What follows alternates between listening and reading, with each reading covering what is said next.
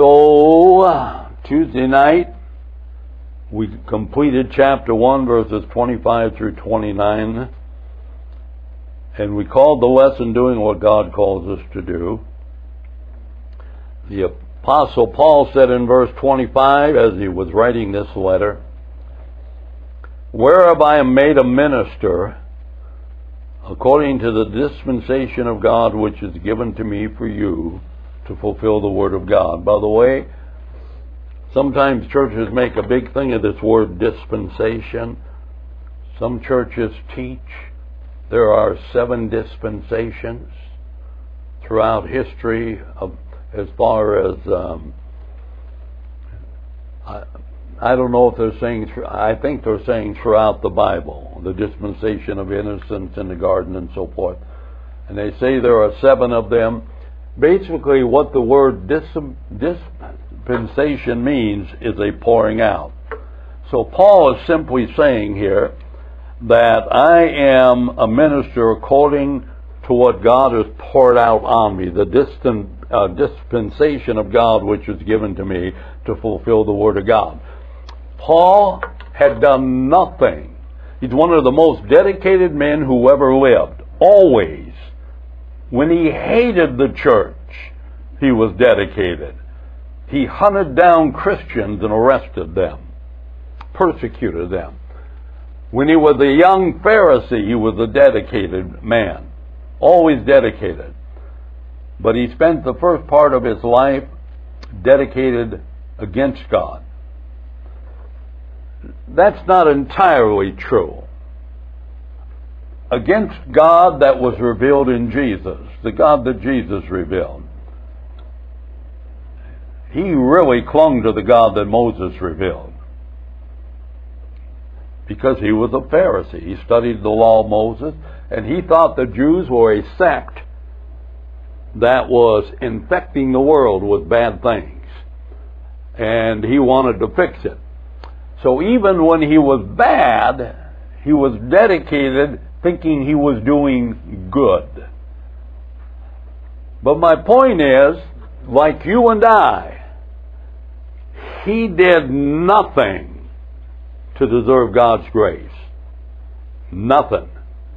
God didn't pick him out because he said, Oh, there's a good guy. Man, I've watched him live his life. He's never done anything wrong.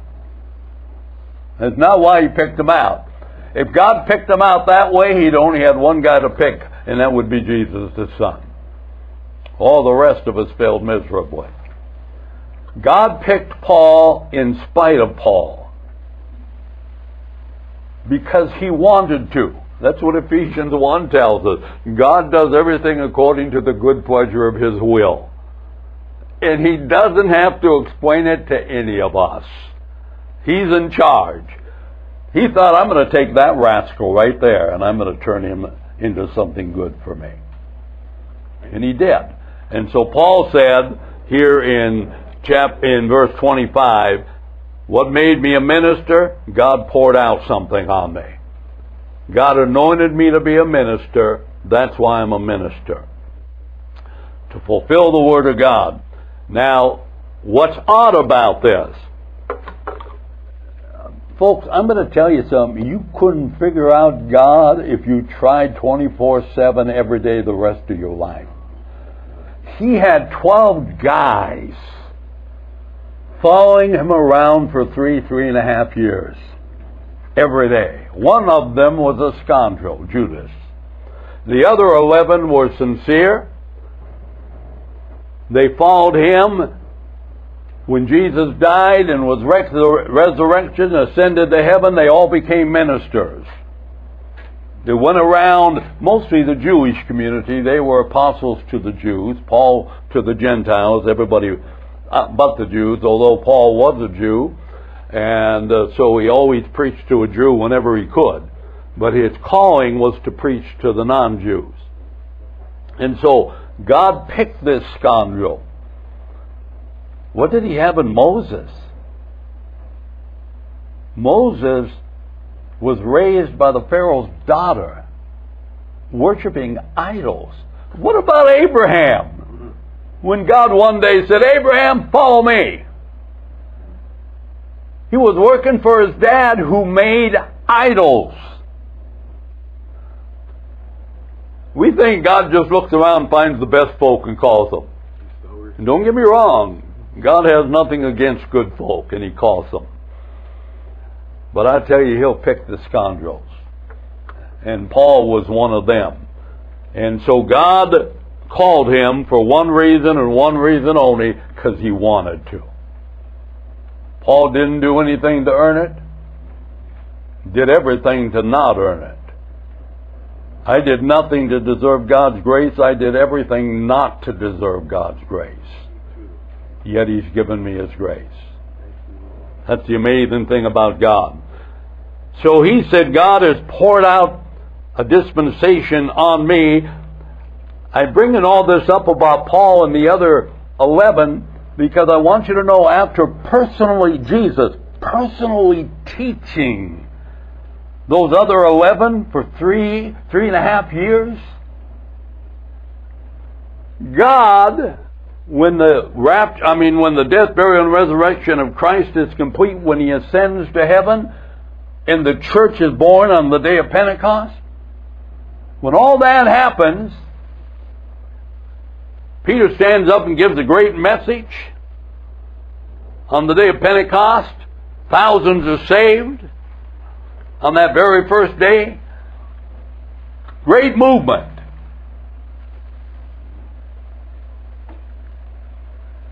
But God had another guy in mind to carry the gospel not to the Jews, but to the non Jews. And that's all Gentile means.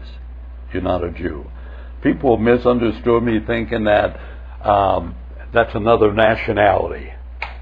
A Gentile is every ethnicity, uh, ethnicity. Well, I'm not getting it. What is it? Ethnicity. Ethnicity. Yeah, it's another one. It's uh, it's got nothing to do. Uh, the gospel has nothing to do with the, just the Jew, and the Gentile is everybody who's not a Jew. That's what a Gentile is. So Paul was sent to that crowd. The Jews were serving, they thought, Jehovah the Gentiles were serving idols made with their hands and then calling them God and offering sacrifices to them. But here's the thing that amazes me most about Paul. When God chose this man, he gave this man a specific ministry. When he called Moses, he took Moses out in the desert and revealed himself in a burning bush. When he called Paul, after Paul got saved, he took him out into a desert and taught him personally the gospel. Paul said, No man gave me anything concerning this gospel but God. Peter didn't teach it to him. John didn't teach it to him.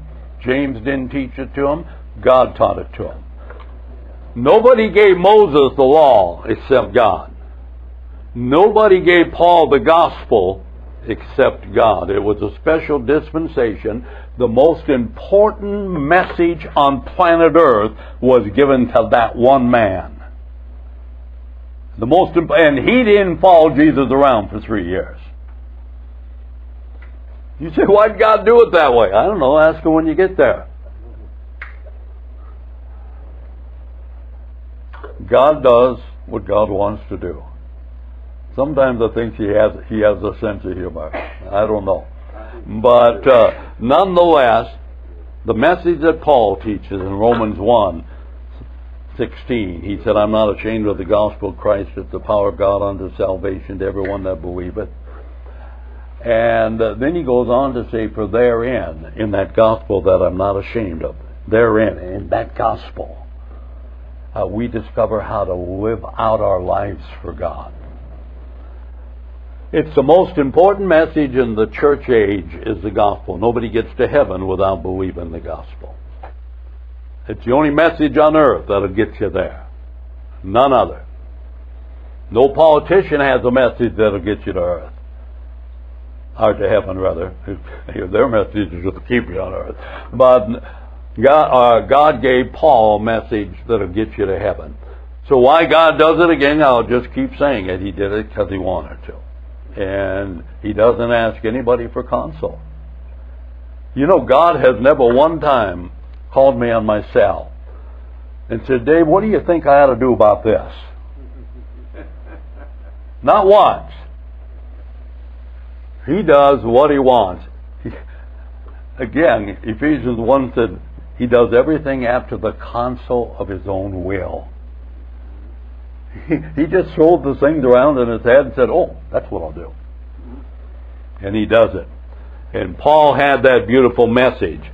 It was the dispensation God gave him. Now, because I took more time on that than I wanted, I'm going to drop right down to chapter 2. Now, walking out the Christian walk.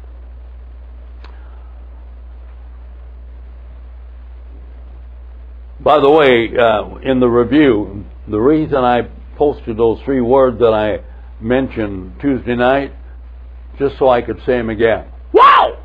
Yeah. Wow! wow! I said, I want to say that again. So I put them in the review.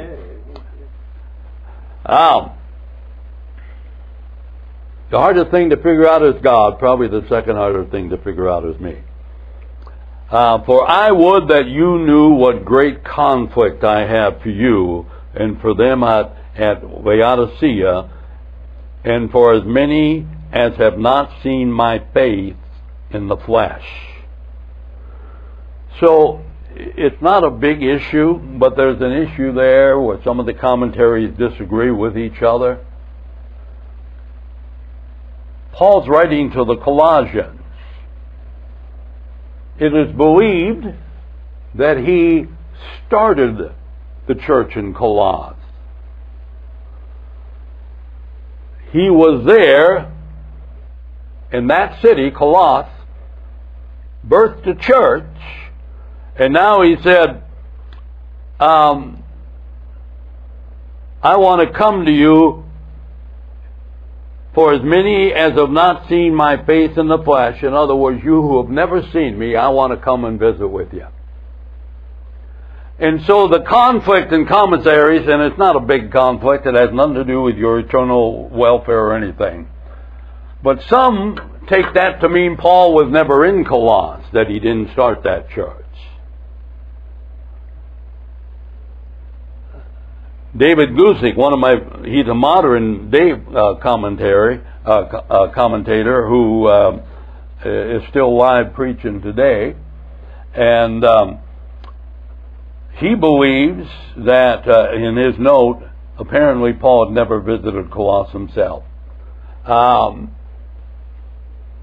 Barnes has a big long note. I posted the whole thing there. Uh, he said the passage does not seem to me to prove that he had not been there. It may mean that he had great solitude for those Christians there whom he knew, and for all others there are in the vicinity, even though he was not personally acquainted with them. He may refer, and this is Albert Barnes talking, he may refer to some church churches in the neighborhood formed since he was there, or to the strangers who had come in there since he was with them, in other words, new church goers or to those who had been converted since he was there, new Christians now in the church, with whom he had no personal experience. For all these he would feel the same solitude, for they were all exposed to the same danger, that danger being persecution of the church. Uh, to see one's face in the flesh is Hebrew, uh, Hebraism. In other words, it's a saying of the Hebrews, meaning to become personally acquainted with him. So, Barnes sees it different. I I love most of the time David Guzik's one of my favorite commentators. In this case, I side with Barnes, and I'll tell you why.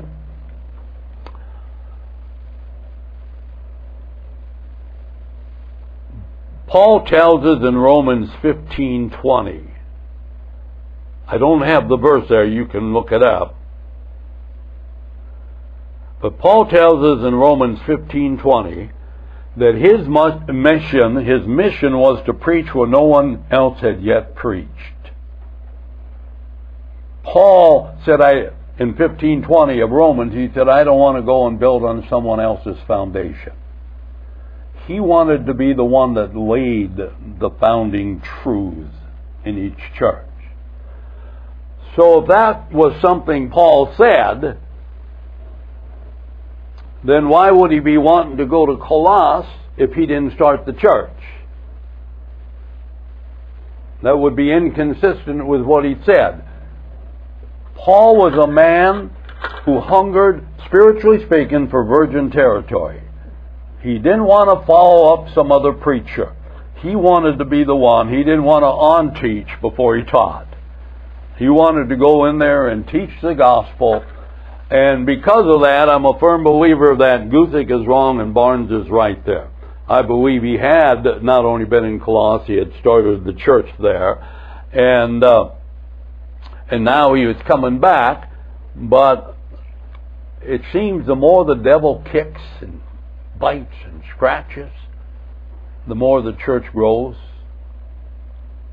And so there's a lot of persecution going on at that time. Lots and lots of persecution of Christians. And so people getting saved. At a time when you think the last thing they'd want to do is get saved.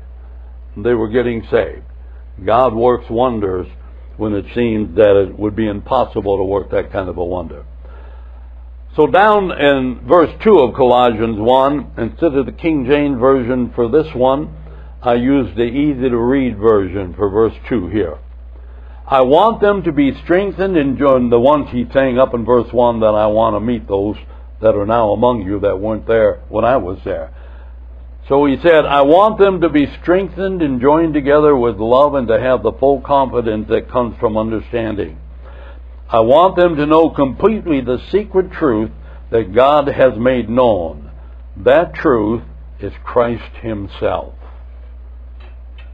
You want to know what the most important truth in the Bible is? Jesus. That's the most important truth in the Bible right there. That's what Paul's saying in that verse. He's saying that truth is Christ Himself. So, like all Christians, Albert Barnes said, in the times of the apostles, they were doubtless exposed to trials and persecution. So, he was saying he wanted them to be knit together in the King James uh, and uh, in the Septuagint, it means the Greek word means to instruct. He wanted them instructed, putting together in one's mind, and so to conclude by comparison. In other words, he wanted them all to study and learn and come to the same conclusions regarding Jesus. So, what did Paul desire for those he was referring to in verse 2? He wanted their hearts to experience comfort even though it was a time of persecution. He wanted them to lovingly come to the same spiritual conclusions. I'll touch on that in a moment.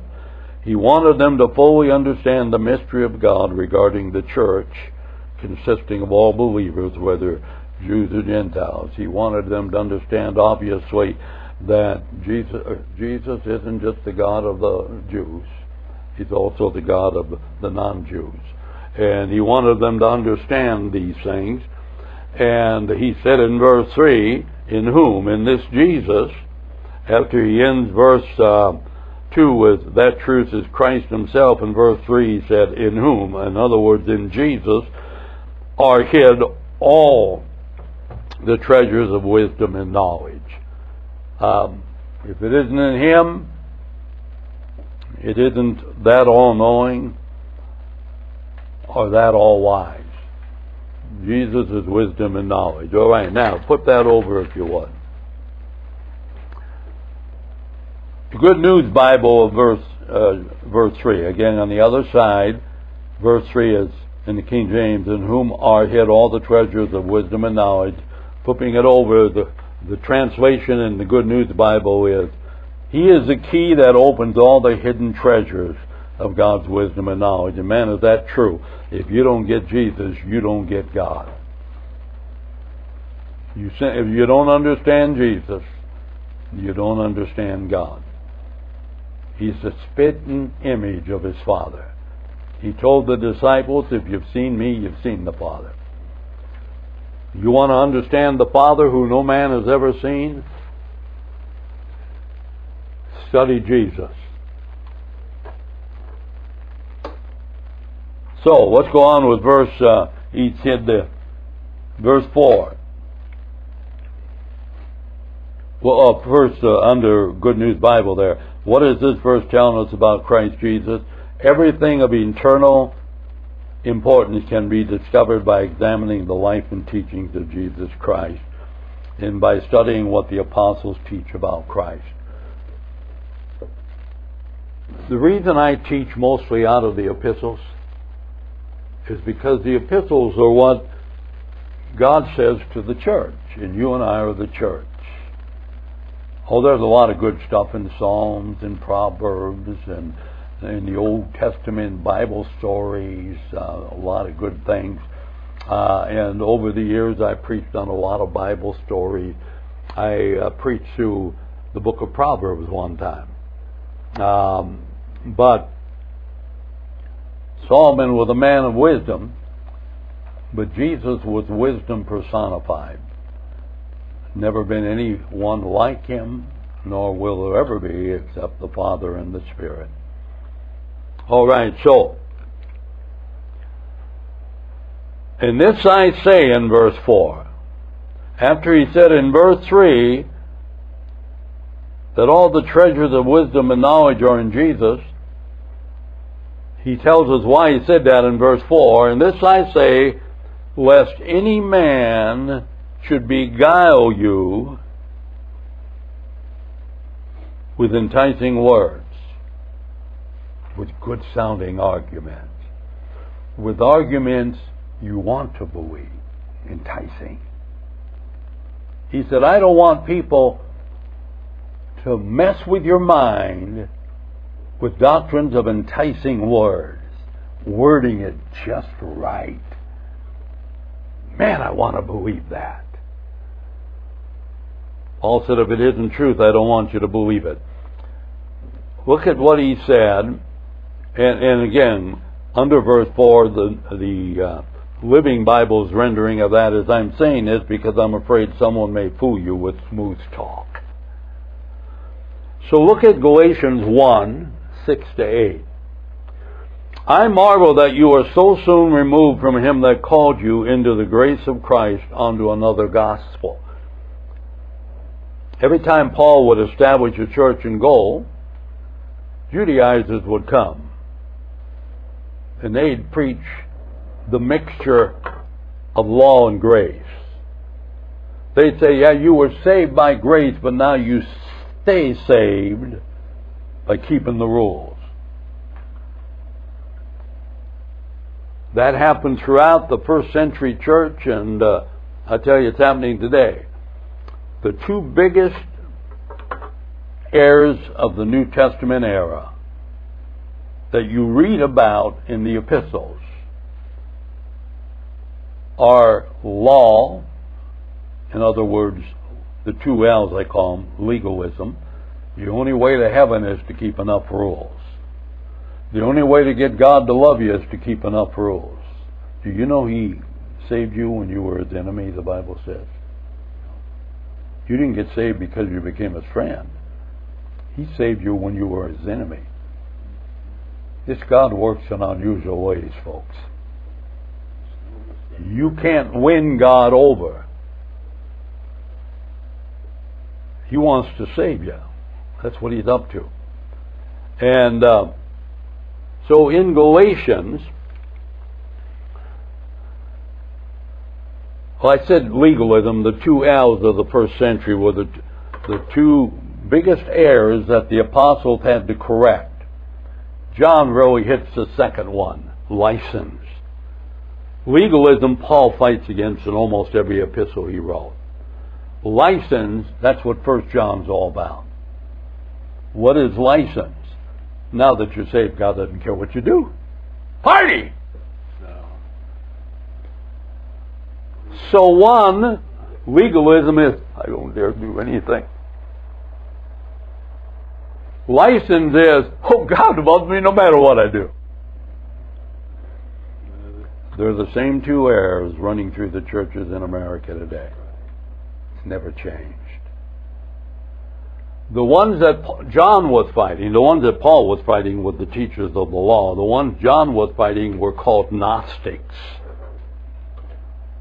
Again, the word Gnostic means to know. It's a Greek word. New Testament written in Greek. It means to know. That's the Greek word for knowing. You throw an A in front of that, that's a negative. Agnostic. Now means you don't know. So an atheist thinks he knows there's no God, an agnostic says there might be a God, there might not be. I don't know. The A changes knowing to not knowing. In this group of Gnostics taught all kinds of error, and John fought against them like crazy. And I'm going to tell you, folks, Gnosticism, people who are telling us that now that Jesus has died for our sins, took away the sins of the world, ascended to heaven, always interceding for us, God is no longer angry. Party down. No, they don't quite put it that way, but that's a doctrine being taught in churches in America today. God loves you just as you are. Friend of mine, Kevin Fleming, always says, Yeah, he loves you just as you are, but he loves you too much to leave you that way. God's desire is for us to become like his son Jesus, to walk in his footsteps. All right? So, in Galatians 1, he said, I marvel that you are so soon. Now, Paul's talking to those who are starting to believe some garbage. He said after he left Galatia, uh, the false teachers came in and started teaching. And he said, I marvel that you are so soon removed from him that called you into the grace of Christ unto another gospel. Listen to what he said, which is not another. What they're telling you is not good news. That's what gospel means. They're dragging you away from the genuine good news and giving you bad news that you are mistaking for good news. He said is not another, but there be some that trouble you and would pervert the gospel of Christ. But though we, Paul saying we, me and my team, are an angel from heaven, preach any other gospel unto you than that which we have preached unto you, let him be cursed. And then the next verse he said, if I come back and preach another gospel, let me be cursed. You know what Paul's saying? If I ever show back up in Galatia and teach you anything different than I taught you the first time, may I go to hell. May God send me to hell. This man fought for the gospel because God put him in charge of the gospel. He was the one that God gave the dispensation of sharing this good news with the world. And man, did he fight for it. He fought really, really hard for it. Now, verse 5. And again, I, I have a answer down there. He didn't want the Colossians to be deceived. Uh, he desires that these false teachers uh, be condemned to hell there in Galatia and wherever they were teaching. Uh, if they were messing with God's children, um, Paul wanted them saved or gone. Wanted them. He had no mercy for them at all. All right, verse 5. Now, why? Uh, that note before verse 5. Paul's desire that the gospel message be presented in its true form is so strong that he says that if anyone perverting the message should be condemned to hell, even if that someone were an angel or Paul himself. 5, verse 5. For though I be absent in the flesh, Colossians, I'm not there right now, yet am I with you in the Spirit, joying and beholding your order in the steadfastness of your faith in Christ. So there are some good things going on in the church of Colossus. And he's uh, very happy about that. He started this whole thing. My first lesson was how to the Colossians get on the everyday prayer list of God. It wasn't, or Paul, it wasn't by being naughty, it was by being good. They were walking out the gospel. And so Paul seen potential in them. And uh, because he seen potential in them, he prayed for them every day. We pray for the sickest, nothing wrong with that. We pray for the weakest, nothing wrong with that. We pray for the one struggling the most, nothing wrong with that. But Paul put the group that was very strong spiritually at the top of his prayer list because they had potential to make a difference. And he prayed for them. In Colossians, there were believers in Colossus that were among that list. All right, so he said uh, in verse 5 again, though I be absent in the flesh, yet I'm with you in the spirit, and uh, joying and beholding your order and the steadfastness of your faith in Christ. Now, there are different comments there. I'm not going to take time on them. You can take the notes home and read them if you like. But um, what he means by that, uh, again, there's some interesting notes. I'm not going to get detailed on those right now. What is verse 5 telling us? Paul rejoiced in their order. That's the word he used up in verse 5. As he saw them as Christian soldiers, each standing in the place they should be. He also rejoiced in the steadfastness of their faith as he saw them at forming a military line that could withstand the attack of the Gnostic believer or Gnostic teachers trying to infiltrate the church with there. You know, when you look at legalism and license, I don't I don't think I could pick which is worse the one you're deceiving people that if they grit their teeth and try really hard, they're going to heaven. That's not the way to heaven. That's a lie. And the other, you're telling, oh, Jesus took away the sins of the world. Well, good. And that doesn't work. Jesus said, No man comes unto the Father but by me. John in his gospel wrote, Whosoever believeth in him should not perish, but have everlasting life. He that believeth not is condemned already. You know, they might not know it yet. They're walking around. But if your faith isn't in Christ, you're walking in a state of condemnation before God. And our job is to pray and pray that they find Christ before they die. Because if they don't, and then um, they're condemned already, the Bible says. They're stepping before God at the great white throne judgment, already condemned. Verse 6 by the way, the reason I mentioned military, some of these commentaries are talking about how Paul was using a military metaphor. And so um, that's what I was talking about there when I said um, what I said. He rejoiced in the steadfast. He'd seen them at forming a military line. That's based on the comments of those uh, commentators up there. Verse 6 As you have therefore received Christ Jesus the Lord, so walk in him. So what's that telling us? Most commentators, and you will not meet a bigger fan of commentators than me. I've got tons of them on my phone. This little old phone, uh, I have an app called eSword.net, and I got commentator after commentator. Probably 20, 25 here. If I really want to know between a couple thoughts, I'll start looking at every one of them and see what they say about it. I love commentators. Anybody who comments on the entire Bible impresses me. And, uh, but having said that, by the way, I've written commentary on four epistles.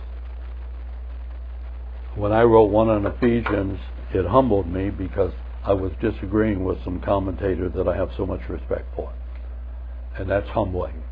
That's humbling. You don't have to agree with everything someone says to have an abundance of affection and respect for. So, but verse 6, this is what I want to conclude with, in this bottom part here. As you have therefore received Christ Jesus the Lord, so walk in him. Most commentators tell us that Paul simply stating to his readers that since they have placed their trust in Christ, they should walk out the new faith. I think there's more to it than that. Because that same guy wrote the two verses that to me are near the top as the most important verses in the New Testament.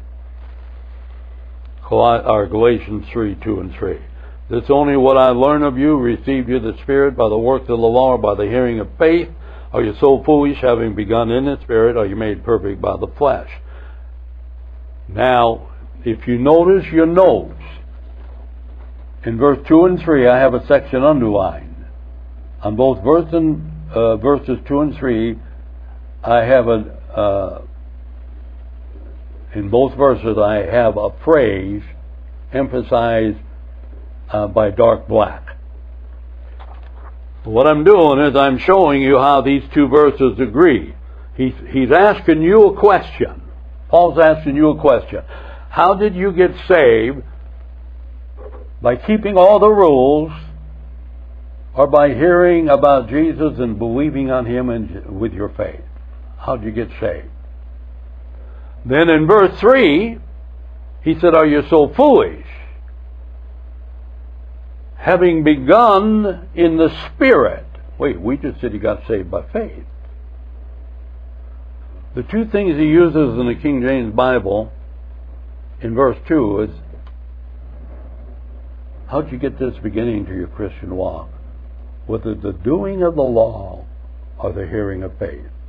Rhetorical question, you get saved by faith, is the answer. Verse 3, having begun in the Spirit. He just told us in verse 2, now we got in the Spirit and by the flesh. What are the corresponding matches? The hearing of faith is in the Spirit. Having begun in the Spirit, you got saved by faith in the Spirit. Are you now made perfect by the flesh, the doing of the law? And we need to make that connection so we understand this Christian walk. He said, Are you foolish? You started by believing. You think you're going to grow a different way? You think you're going to grow up in the faith by trying really hard? Or walking out the freedom that's in the Lord? Or walking in the Spirit, knowing that what Jesus says about me is true. And I'm going to wrap that up here in a moment with some uh, examples at the bottom. So that's what I believe he's saying. As you, as you receive Christ, walk it out. The same way you received it, by believing what Jesus said. Walk it out by believing what Jesus says. As you receive Him, that's the way you're supposed to walk it out. All right, now, watch this. We grow in the Christian experience the same way we become Christians. We grow by hearing, by the hearing of faith, according to Colossians um, 3, verse 2. That's how we got into it, so that's how we're going to grow. We grow by the hearing of faith, in other words, believing His promises. We don't grow spiritually by trying harder to keep the works of the law. 1 John 2 6. He that saith he abides in him ought himself also to walk even as he walked. We find ourselves living the Christian uh, life and walking as Jesus walked when we believe the amazing things the New Testament tells us about ourselves. Did you know the New Testament is littered with good news about you? Littered. And I just gave four examples to wrap this up with. 2 Corinthians 5.17, you're a new creature in Christ. You're not who you used to be. You know the verse, if any man be in Christ, he's a new creature, old things pass away, behold, all things become new. That's pretty good news. And I can't emphasize enough. This is the way people read that verse. If any man be in Christ, he's gradually becoming different than he used to be. Some of the bad habits are gradually dropping away, and he's gradually getting some better habits. That's not what it says. This is all in the present tense. If you're in Christ, you right now are a new creature. If you're in Christ right now, the old is gone. You say, why don't I walk that out? Because you don't believe it. If you're in Christ right now, everything about you is new. Why don't I walk it out? Because you don't believe it. Do what the father of the of the demoniac said to Jesus when he said, "Do you believe?" He said, "I do believe. Believe. Help thou mine unbelief." God, I believe what you say. Help me work on the areas I'm struggling believing, because the victory is believing. We can't. That's not how life works. Life is about picking up a hammer and building something. Life is about setting an alarm clock and getting out of the house and making some money. That's how life works. But that's not how spirituality works. Spirituality believes on our, our growth, our spirituality grows as we believe what Jesus says about it. The second bullet, sin shall not have dominion, dominion over us because we are under the power of God's grace. Romans 6:14. Sin shall not have dominion over you because you're under grace. You say, I struggle with sin. That's foolish. Quit acknowledging that. Sin does not have dominion over you. God said it. Is he a liar? Is God a liar? Is he lying to you?